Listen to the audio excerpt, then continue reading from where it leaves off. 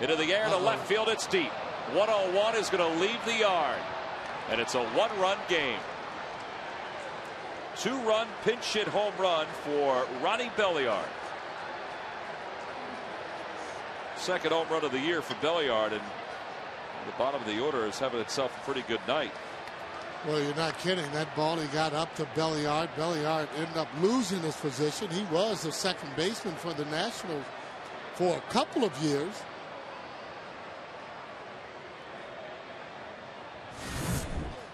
I see right where the pitch is. Now he wants that down and in, and look where the pitch is. And he knows it when he got it.